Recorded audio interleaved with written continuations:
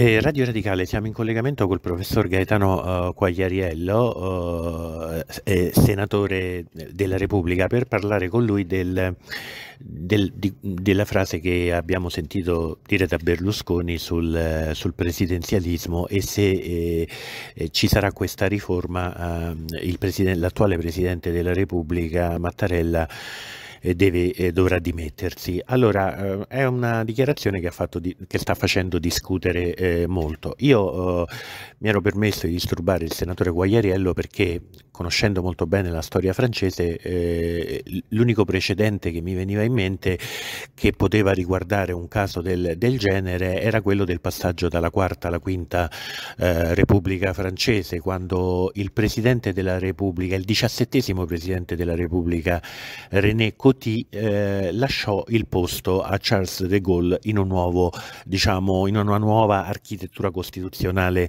della uh, Francia. Allora, eh, professor Quagliarello, allora, guardando quel caso, che, diciamo, che insegnamenti eh, possiamo trarre oppure se ritiene che sia del tutto estraneo? No, oh, buongiorno innanzitutto. No, il, il, caso è, è del tutto diciamo, differente. Per quali ragioni? Perché dobbiamo ricordare come avvenne il passaggio dalla quarta alla quinta repubblica. Il passaggio dalla quarta alla quinta repubblica fu un passaggio cruento, eh, si trattò fondamentalmente di un passaggio costituzionale eh, che avvenne sotto la minaccia di un vero e proprio putsch militare che tra le altre cose si era già avviato e che riguardava eh, la eh, la posizione, la indipendenza dell'Algeria, cioè, eh, riguardava quel eh, processo diciamo, di eh, decolonizzazione che per quel che riguarda la Francia è stato particolarmente eh, cruento e difficile.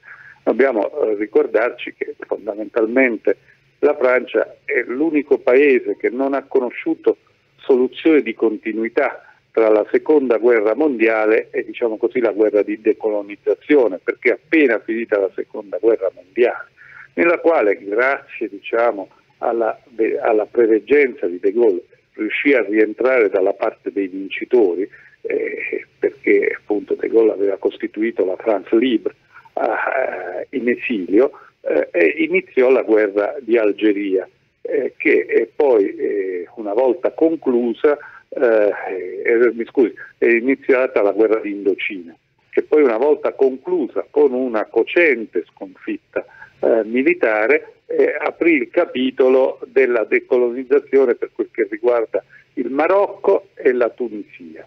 L'Algeria era un caso particolare perché l'Algeria era considerata una sorta di, di anzi era considerata a tutti gli effetti, era un dipartimento francese cioè non era diciamo, un territorio d'oltremare.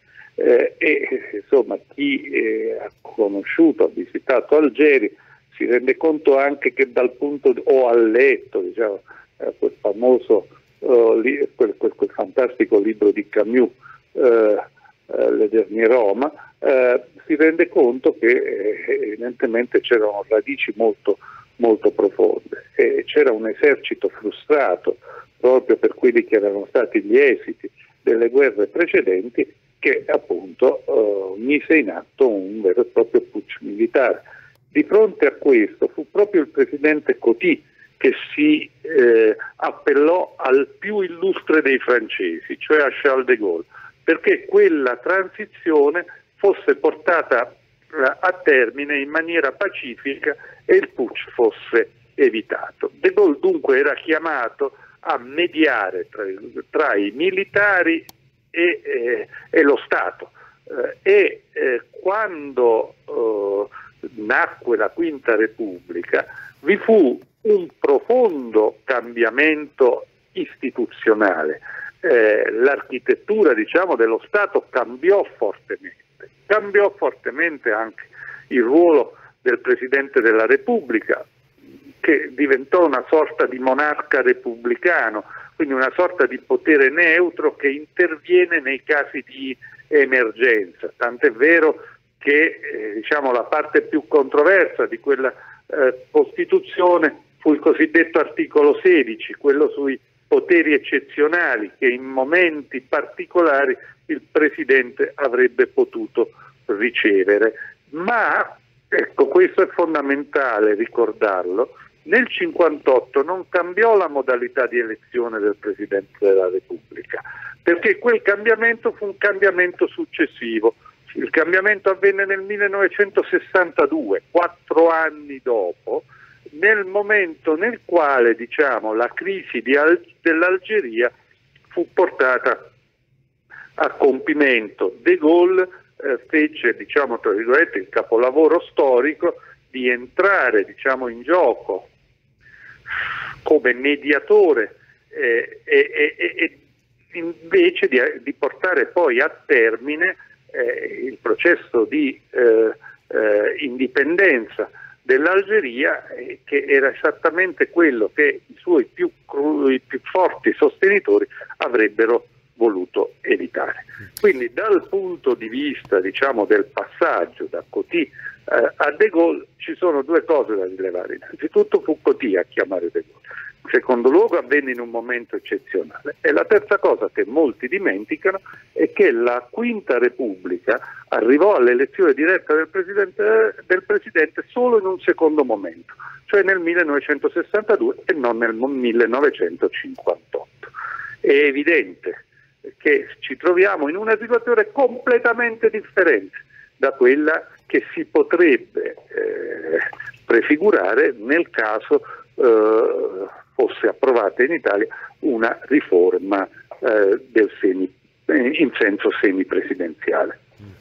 Senta, ehm, Cotì che, che, mm, che, che, idee politiche aveva? Dunque lui era diciamo un repubblicano di sinistra, poi ha avuto una sua evoluzione. Tra l'altro nella sua carriera politica lui aveva votato anche per i pieni poteri a Petén nel 1940. Ma, eh, tenga conto che appunto nel 1940 furono assai pochi eh, i parlamentari che non votarono per questa soluzione, che in quel momento sembrava una soluzione quasi obbligata. Tenga conto che appunto eh, De Gaulle, che era stato eh, sottosegretario nell'ultimo eh, governo della Terza eh, Repubblica, eh, in quel momento non era una figura politica diciamo, eminente eh, ed ebbe diciamo, l'intelligenza direi politica ma soprattutto strategica di comprendere che la guerra non era finita, non era persa, che si trattava di una guerra mondiale, che quella guerra mondiale avrebbe potuto avere ancora delle evoluzioni. Se si legge il, eh, suo, il messaggio che lui lanciò da Londra, dove andò in esilio, perché appunto eh, lui fu condannato a morte come disertore eh, in patria, eh, beh, insomma ci sono degli elementi di preveggenza incredibili perché eh, insomma, eh, eh, lui comprese che la guerra non sarebbe ehm, finita così come era iniziata e questo eh, sia riguardo al ruolo degli americani che come lei sa entrarono in guerra soltanto in un secondo momento. No? Eh, soltanto dopo l'attacco di Pearl Harbor e per, lo, e per di più una guerra dichiarata al Giappone, sia per quel che riguarda soprattutto la situazione dell'Unione Sovietica, eh, perché eh, all'inizio della guerra sostanzialmente l'Unione Sovietica, diciamo così, era sostanzialmente alleata eh, eh del, eh, di Hitler e della Germania perché erano stati firmati i cosiddetti patti Molotov-Ribbentrop e soprattutto i protocolli segreti che si sono conosciuti soltanto dopo che eh, eh, eh, evidentemente configuravano una sorta di alleanza di fatto e una spartizione del mondo dopo la guerra. De Gaulle capì che tutto questo era provvisorio, che le cose sarebbero cambiate e che quindi anche la sconfitta eh, bruciante della Francia che aveva puntato tutto sulla linea Maginot, non comprendendo l'evoluzione della guerra, perché appunto non si comprese quale sarebbe stato il ruolo dei tank e dei eh, carri armati, in grado evidentemente di eh, di, di, di, oltrepassare la linea Maginot come avvenne, che la posizione, che la sconfitta della, della Francia fosse irreversibile. Ecco, eh, questo sul suo fronte.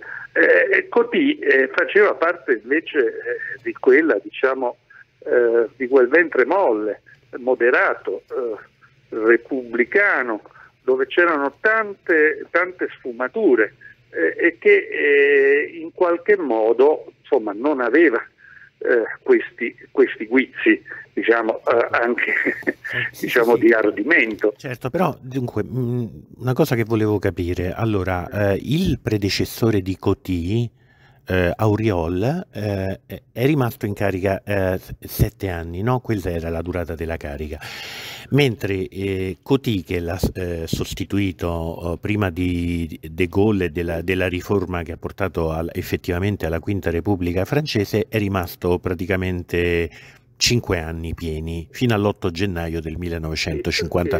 insomma, Coty in qualche modo fu un, uno che ecco, no, no, no. Certo, io volevo capire, sì sì certo agevolò, ma come è avvenuto il passaggio di consegne da, da, da Coty eh, da, a, a, De Gaulle? Cioè lui ha detto adesso il Presidente della Repubblica sei tu senza farsi eleggere? No, no, no, no, ci fu un processo di transizione in cui vennero scritte le nuove norme, quelle della Costituzione, della Costituzione della Quinta Repubblica. Questa cosa parteciparono eh, sia eh, alcuni eh, uomini gollisti eh, di primo, di, primo, di, primo, rango.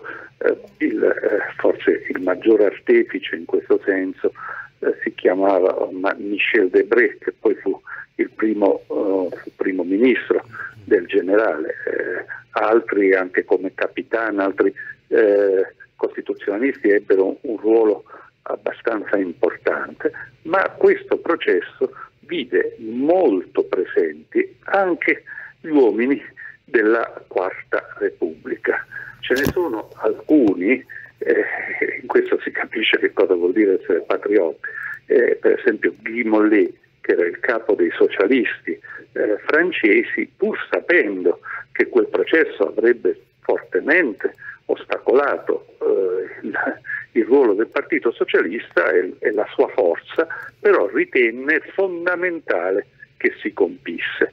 Tra questi agevolatori della Quinta eh, Repubblica va, eh, provenienti dalla Quarta, eh, cioè un altro era appunto il leader democristiano Perifi, ora eh, no, scuso, eh, Ora non, non, entriamo in questi particolari, ma tra questi agevolatori ci fu anche Coty, il quale fece di tutto perché si scrivessero le nuove norme. Quando le nuove norme furono scritte, eh, quando tutto, diciamo, tra virgolette, si compì, eh, evidentemente ci fu eh, un passaggio che avvenne eh, costituzionalmente perfetto, eh, quindi fu un, un, i grandi elettori si riunirono e elessero il nuovo Presidente della Repubblica che poi venne confermato a, manda- a mandato diciamo, venne confermato a suffragio universale nel 1962.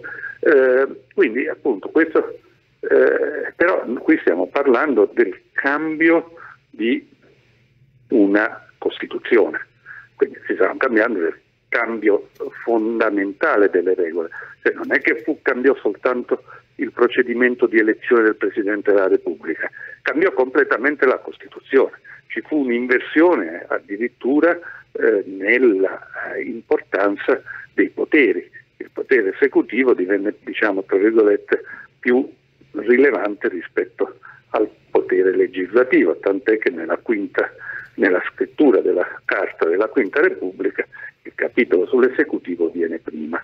Ehm, in questo caso noi parleremo di tutt'altra cosa, cioè noi parleremo di una riforma che riguarda diciamo, le modalità di elezione del Presidente, che ovviamente implica la, eh, la, eh, la, la attivazione di una serie di bilanciamenti, eh, una serie di leggi di attuazione, non c'è nessuna emergenza che riguarda diciamo, la sicurezza della nazione e della sua integrità come in Francia nel 1958, quindi nel caso si mettesse in, in atto una cosa del genere, si potrebbe tranquillamente prevedere un processo diciamo, tranquillo di, eh, di, transizione che avviene alla scadere del settennato. Uh, questo eh, insomma, credo che sia. Del, del settennato del, della legislatura?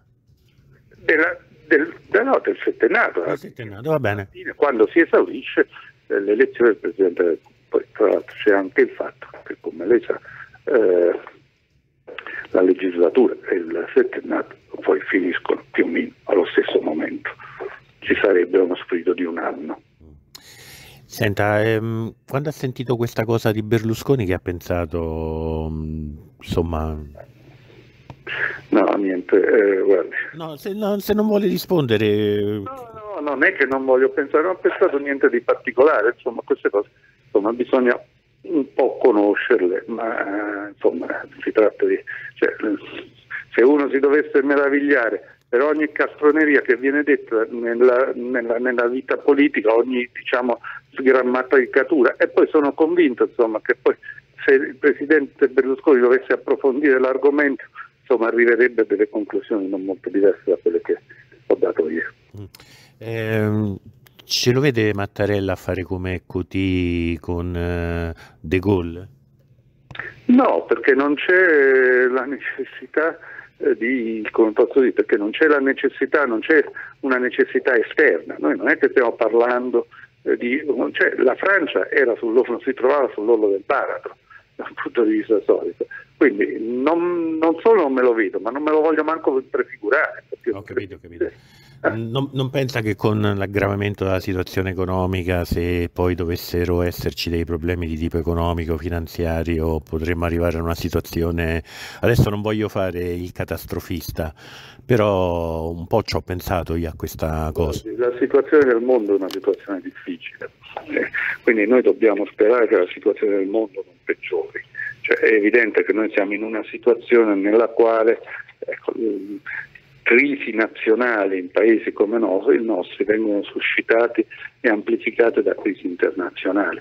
È evidente che eh, il momento non è un momento facile, però eh, insomma, eh, non, non, non, non, si tratterebbe mai di una cosa solamente endogena, nel caso si, si tratterebbe di, un, eh, di qualcosa che, che, che, proviene dall'esterno, speriamo di no. Certo. Va bene, allora io la, la, la, ringrazio molto per averci un po' spiegato mm, questa cosa che nasce anche da, un, cioè da, una mia curiosità sul, su questo tipo di, di, di, passaggio. Ringrazio il professor Gaetano Quagliariello, senatore, col quale abbiamo parlato delle parole di Berlusconi sul presidenzialismo. Grazie. D'Italia al centro. Senatore d'Italia al centro, scusi, eh, non... Un partito, no, un partito al quale si sarebbe potuto iscrivere così.